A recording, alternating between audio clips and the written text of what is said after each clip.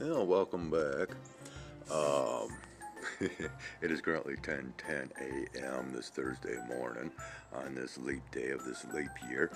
And uh, I was just sent an email, a very detailed email from ScrewTube, uh, excuse me, YouTube, uh, explaining that they removed one of my videos because of medical misinformation and that uh, one more violation of their guidelines and policies uh, would result in a strike against me and my channel.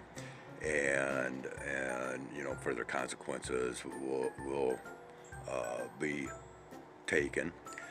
Um, yeah it seems like they're kind of stepping up their their games against me now. Um, but of course I kind of egg it on right? I don't care I'm a believer in freedom of thought and expression, and I don't care. This is still a public platform.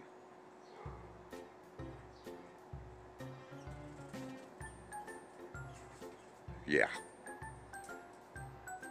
So, I, I, I think it's actually quite funny. I mean, like I said, they they went into quite the description and and detailed it out, um, and and also, uh, you know, invited me to take up a little bit of programming uh, through one of their courses or whatever.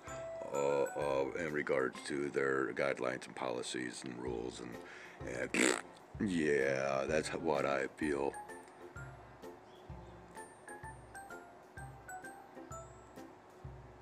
Yeah. It's what happens when you're a free thinker and a factualist and you expose too much of reality. They always want to fight back. Notice that? In some way, shape, or form. Always fighting back.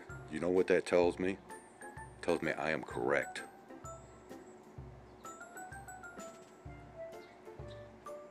And eventually, that will be proven, verified, and confirmed.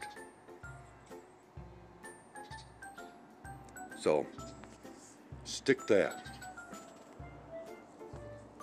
or the sun don't shine. There. There's another Thursday thought. Have a great one. And maybe, due to the content that I'm posting, we just might see you on the flip side once again. Take care.